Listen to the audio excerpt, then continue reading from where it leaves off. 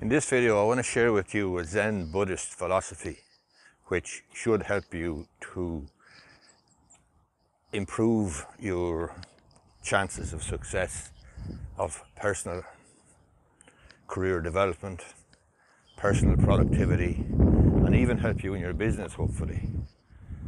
It's a philosophy which can be summarized in a fairly simple phrase called chop wood and carry water.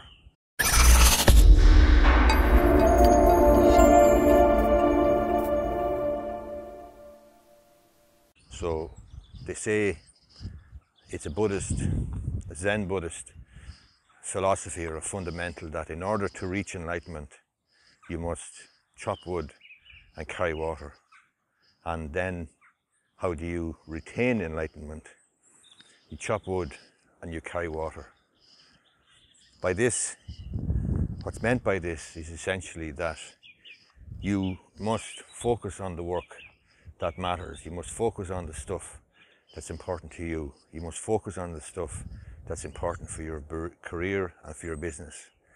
So, in today's world, obviously, there's a huge amount of distractions that can very, very easily divert you from doing the work that really matters, that prevents you from having focus, that prevents you from having a concentrated focus and effort on stuff that will really matter to you and to your business, to your career, and to help you succeed in whatever you're doing.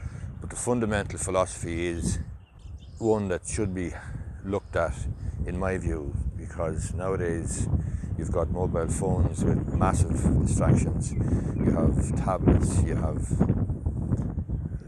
computers, you have TVs, you have Netflix, you have Amazon Prime, you have all sorts of distractions. You have every conceivable distraction under the sun.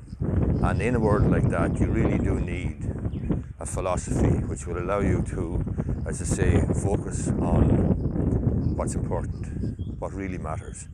And the Zen Buddhist philosophy I'm suggesting to you should be of assistance. So just think about the work that matters. Think about chopping wood and carrying water because that's what you need to reach enlightenment. I'm not saying you're going to reach enlightenment. I'm not going to say you're going to reach or retain enlightenment. I am going to say if you want to do work that matters, you really do need to be very, very careful and very, very mindful about the work that matters to you and about focusing on the stuff that's really important. And focusing on the stuff that's really important involves having a very, very tight rein on your phone, having a very, very tight rein on social media, having a very tight rein on your iPad or your tablet, on your laptop, on your PC, on your TV, on your radio. All of these things serve to distract you, serve to keep you from doing the stuff that might make a huge difference in your life, in your day to day life, and in your development. So I hope you find this video useful. As I say, it's a Zen Buddhist philosophy. I'm no Zen Buddhist, but I love the simplicity of thinking about doing the stuff that matters and thinking about chopping wood and carrying water.